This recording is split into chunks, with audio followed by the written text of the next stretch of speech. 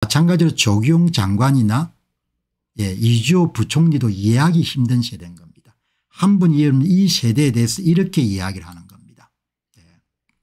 한번 보시죠. mz세대가 완전히 다르다는 겁니다. 의료를 하나도 모르는 사람들입니다. mz세대의 투쟁 방식이 조용한 사직입니다. mz세대의 해법이 새로운 길찾기라는 사실을 전혀 이해하지 못하는 사람들의 희망 상황일 뿐입니다. Mz교사, mz공무원, mz군인들이 하루아침에 평생 직업을 내던지고 쿠팡 기사 생활로 기존 원급의 몇 배를 벌어야 된다는 사실을 아십니까 세상이 어떻게 돌아가는지 전혀 모르는 사람들이 예, 대통령실에 우글우글 하고 있습니다. 60년대 70년생들은 불합리한 시스템 안에서 돌을 던지고 화염병을 던지고 시스템을 고치려 노력했습니다. MZ세대들은 불합리한 시스템을 미련 없이 버리고 합리적인 세상을 찾아 나서는 사람들입니다. 의과대학 정원이 원점 재논의된다 하더라도 많은 의대생과 전공의들이 돌아오지 않을 것입니다. 대한민국 의료는 다시 예전으로 절대 돌아가지 못할 것입니다.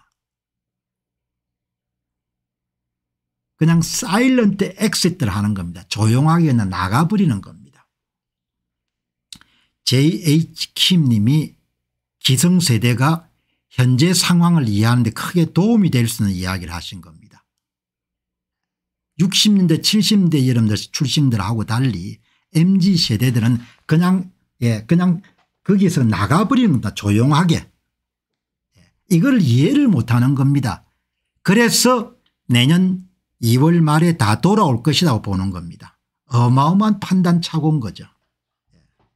60년대 70년생들의 이름들 하연병을 던지고 저항했지만 mz세대는 그냥 나가버린다는 거 아닙니까 그냥 조용하게 각자 그 자기 길을 찾아서 떠난다는 거 아닙니까 투쟁 방식이 다른 거죠.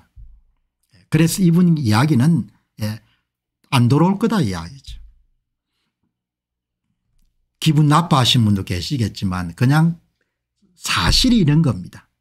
사실이 너희들이 배가 고프면 돌아오겠지 이렇게 하지만 예, 전공의들도 결혼하지 않은 사람들이 많습니다. 지금 결혼이 늦어지기 때문에 그러니까 아무 신경 안 쓰는 겁니다. 그러니까 지피지기면 백정백성이라는 말처럼 상대방하고 싸우려면 상대방을 정확하게 이해를 해야 될 거 아닙니까 상대방을 이해해야 되고 상대방이 처한 상황을 이해해야 되고 상대방의 인간의 집단에 대한 이해가 있어야 되고 그리고 의료 시스템에 대한 이해가 있어 아무것도 없는 겁니다. 그러니까 그냥, 그냥 밀어붙여가 수렁에 빠져버린 겁니다. 수렁에 빠져가 이런 그걸 빠져나오려고 하니까 계속 무리수를 지금 두는 겁니다. 그냥 나가버린 겁니다. 그냥. 그 좋은 공무원을 왜 그만둬 그 좋은 교사를 왜 그만둬 그 좋은 군인을 왜 그만두냐고 그냥 나가버리는 겁니다. 오늘 여기 보시면은 현직 의사분께서 이렇게 이야기하지 않습니까 이번 사태의 패착은 정부가 전공의를 우습게 알았던 게 패착입니다. 전공의는 대학병원을 실제로 전문의 역할을 담당하는 사람들입니다. 그들이 빠지면 모조리 전문의로 채워내야 되는 것이기 때문에 특히 당직도 야간 당직도 전공의처럼 서는 전문의를 채용해야 되는데 그게 가능합니까 불가능합니다. 여러분 제 기억하거든요. 이 방송할 때 한 전문의를 둔 대학의 펠로를 둔 어머니께서 이런 글을 올렸거든요. 그 어렵게 얻은 대학 조교수를 아들이 사표를 던진다고 하는데 내가 말릴 생각을 할 수가 없었다. 그리고 왜 그만두냐 다시 또 야간 당직을 써야 되는 것을 내가 참을 수가 없는 것 같습니다. 그래서 아무 말도 안 했다는 거 아닙니까 고생고생해서 이런 전공의를 거쳤는데 또 그걸 해? 안 해? 이렇게 돼버린 겁니다. 이런 것을 조경 장관이나 박민수 차관이 이해를 못할 겁니다. 그럼 그 똑똑한 분들이 왜 이해를 못하냐 그분들이 지적으로 게으르고 지적으로 오만했던 겁니다. 나는 그분들이 평생 동안 관료 생활을 했기 때문에 예, 본인들이 아무리 겸손하게 이렇게 하더라도 지적으로 굉장히 오만할 겁니다. 왜? 예. 본인이 명령하고 지시 내리면 민간인은 착착 따랐으니까 여기 보시기 바랍니다. 특히 당직도 전공의처럼 쓰는 전문의를 채용해야 되는데 그거 불가능하다는 거 아닙니까 그런 전문의 찾을 수가 없다는 겁니다. 이거는 본인 스스로가 전공의를 경험해 보지 않은 사람들은 알 수가 없는 일이지 않습니까 야간 당직이 여러분들 전문의 이름 나이에 야간 당직을 계속 써야 되면 고참 이름 전문의 수준에 그럼 죽는 거라면 그렇게 싫다는 겁니다. 다시 그 길 못 한 번 하는 건 할 수가 있는데 안 가본 길이니까 가본 길을 다시 갈 수는 없다는 겁니다. 전공의가 그냥 교육생이고 힘이 좀 약하기 때문에 협박하면 벌벌벌 떨기 전에 일진 깡패 짓을 정부가 해봤는데 학교에 순둥이 같은 애들이라고 생각해서 그런지 협박질을 무지하게 몰아붙였습니다. 초창기 이런 박민수 차관이 눈 시퍼렇게 뜨고 여러분들 전공의들 협박하는 거 기억해 보시기 바랍니다. 그런데 그들이 당직 전문인 것을 모르고 사직하고 난 뒤에 그때서 비로소 알게 된 겁니다. 사직을 하고 나니까 전공의의 빈 공간이 어마어마하게 큰 겁니다. 전공의가 실제로 뭘 해야 되냐 야간 당직이 가능한 전문의 역할을 해왔던 겁니다. 그걸 지금에서 이제 아는 겁니다. 아차 싶은 겁니다. 전공의가 전문의 역할이고 실제 전문이라고 할 수 있는데 의사입니다. 3차 의료기관에서 당직을 쓰는 전문의를 전부 다 내쫓아 버렸으니까 이제 응급실부터 배호 진료까지 야간 당직이 불가능해서 모조리 붕괴되고 이 여파는 2차 진로기간까지 미쳐서 완전히 응급실이 문을 닫는 초유의 사태가 벌어질 것입니다. 이 구리님 현직 의사분은 아주 예리하게 이름도 의료 문제를 보는 겁니다. 전공이 좀 얼르고 협박하게 되면 은 3주면 완전 제압이 될 거다. 전공이만 제압하게 되면 우리는 모두 다 성공할 수 있을 것이다. 조기용과 박민수가 내린 상황 판단인 겁니다. 전공의가 뭐냐 예, 직책은 전, 전공이지만 실제로 야간 당직이 가능한 전문이었던 겁니다. 그걸 56% 그냥 여러분들 다 잘라버린 겁니다. 그래서 여러분들 완전히 박살이 난 겁니다. 무지함입니다. 무지함과 오만함 때문에 지금 사태가 온 겁니다. 뼈아픈 것은 이 무지함과 오만함이 정권을 위태롭게 할 수 있는 가능성이 매우 높아진 겁니다. 이제 고집밖에 안 남은 겁니다. 이제 그냥 고다 이야기죠. 근데 고가 사람이 죽어나갈 거라는 이야기입니다. 무지무지하게 무서운 일이 벌어지는 겁니다. 예. 오늘 어마어마하게 중요한 이야기를 하지 않습니까 55년생의 이름 외과의사분은 뭐라고 이야기합니까 야 그게 아니고 의과대학에 척추가 전공이다 이렇게 했는데 오늘 구리님은 여러분들 현직 의사는 뭐라고 이야기합니까 박민수하고 이름 조경이 몰랐는데 실제로 전공의가 그냥 윽박 지르고 이렇게 하면 될 줄 알았는데 실제로 전공의는 전공이지만 실제로 전공의가 전공의가 아니고 야간 당직이 가능한 전문이었다는 겁니다. 야간 당직이 가능한 전문의를 뽑기가 어마어마하게 힘들고 거의 불가능하다는 겁니다. 돈을 천금으로 주더라도 여러분들 그런 사람을 구하기 힘들다는 겁니다. 예. 그렇게 여러분 된 겁니다. 그래서 이러면 응급실이 샷다운 될 겁니다. 뭐 대책이 없는 겁니다. 문제 본질을 이렇게 정확하게 꿰뚫게 되면 이런 상황이 다 나오지 않습니까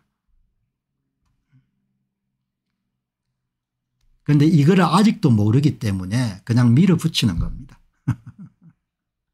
오늘 중요한 게 나왔지 않습니까 MZ세대란 것은 돌멩이 안 던진다 이야기죠. silent exit 조용하게 나가버리는 겁니다. 예. 전공의는 전공의 역할이 아니라 전문의 역할을 해온 것입니다. 왜냐하면 대학병원에서 전공의를 빼고 전공의를 대처하려면 대치하려면 전문의를 뽑아야 해서 대치해야 됩니다. 결국 전공의가 그동안 전문의 역할을 해온 겁니다. 그래서 일하는 시간으로 따지게 되면 대학병원에서 56%가 줄어든 겁니다. 그들이 빠지니까 응급실과 배후진료가 43%로 줄어들게 된 겁니다. 특히 당직을 전공의가 전담해서 왔습니다.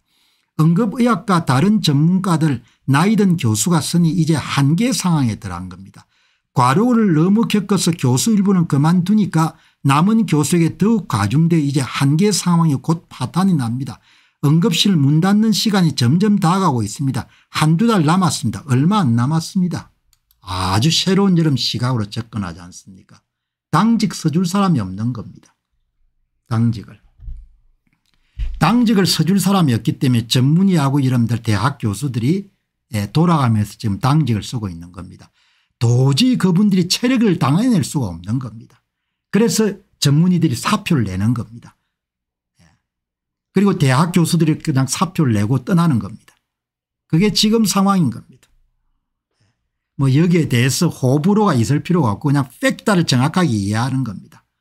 예. 저는 그냥 머릿속에 그냥 훨씬 뭐가 문제인지 훨씬 그냥 들어오는 겁니다. 왜 현직 의사가 직접 이런 전공의를 경험해 봤었기 때문에 분석한 겁니다. 이런 이야기를 어디서 듣겠습니까 들을 수가 없는 거죠. 이런 정보가 중요하다는 것을 변별할 수 있는 능력도 이런 사람들이 별로 없을 겁니다. 예. 여기서만 들을 수 있는 겁니다. 이런 정보를 여러 가지 입수했고 그 정보를 변별해서 여러분들이 말씀드린 겁니다. 이번 의료사 때는 대단히 근본적인 여러분들 문제점이 발생한 겁니다. 야간 당직이 그, 여러분 가능한 전문의를 뽑을 수가 없다는 겁니다.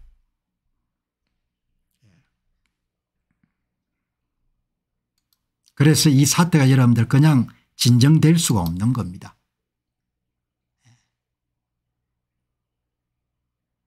대통령이 되시고 오늘까지 하루라도 국민들 마음 편하게 해준 시간이 있었습니까? 갤럽 여론조사의 82%가 대통령의 의료개혁 추진 방식에 반대라고 하니 방식을 좀 바꾸시기 바랍니다. 뭐 바꿀 수가 있겠습니까?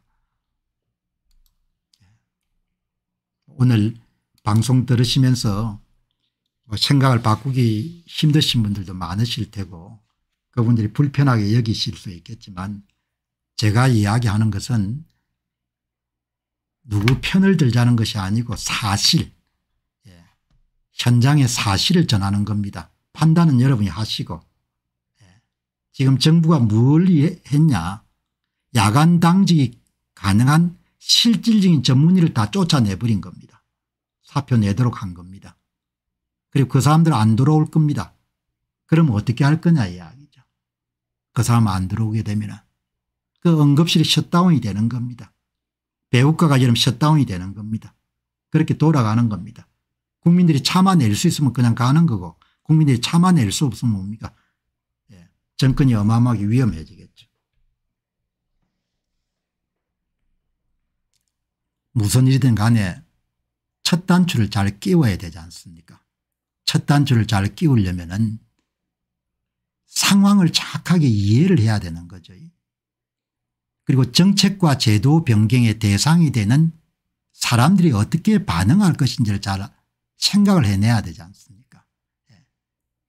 조기용과 이런 박민수란 사람은 3주에서 5주 정도만 뭐죠 윽박지르게면 전공의와 항복하면 그걸로 끝날 것이다. 예산 1, 200 정도만 추가적으로 투입하면 끝날 것이다 이렇게 상황 판단한 거 아닙니까 완전히 오판을 한 거죠. 전쟁을 치르는데 오판을 했기 때문에 결국 비용을 치를 수밖에 없는 겁니다. 이길 수 없는 게임입니다. 제가 말씀을 드리는 것은 의료 본질을 이야기되면 이길 수가 없는 게임인 겁니다. 의료 본질을 이야기하게 되면 일단 설득할 수 없는 정책을 내놨기 때문에 이해당사자고 협의를 전혀 거치지 않고 전혀 설득할 수 없는 정책을 낸 거죠. 설득할 수 없다는 것은 근거가 없는 정책을 냈기 때문에 이 비용을 톡톡히 치룰 겁니다. 거기다 여러분들 기본적으로 고집이 세기 때문에 일단 고집이란 것은 정념의 노예가 되는 거거든요. 눈에 여러분들 호르몬이 분비가 돼 가지고 우리가 애국적인 행위를 하고 있다 이것이 눈을 가린 거 아닙니까 어떤 종류의 정보도 들어갈 수가 없는 거죠. 그런 상태에서 뭡니까 배랑 끝으로 몰릴 수밖에 없는 겁니다. 그 인간이 정념의 노예가 돼서 안 되거든요. 예. 정념의 노예가 되면 이성 논리란 게 전혀 필요가 없는 겁니다. 아주 제가 볼 때는 참 뭐 아주 경우를 찾아보기 힘들 정도로 사람이 얼마만큼 여러분들이 이렇게 완악할 수 있는지를 보는 거죠 지금 완고할 수 있는지를 죽는 길로 가는데 그냥 그게 안 보이는 겁니다 그 사람들 눈에는. 제 눈엔 죽는 길로 가고 있거든요. 그런데 그게 안 보이는 겁니다. 왜? 정념의 노예가 됐기 때문에. 호르몬이 분비가 돼 가지고 우리가 선한 일을 하고 있고 애국적인 행위를 하고 있고 정의로운 일을 하고 있다고 이렇게 생각하니까 다른 이야기는 들어갈 수가 없는 겁니다.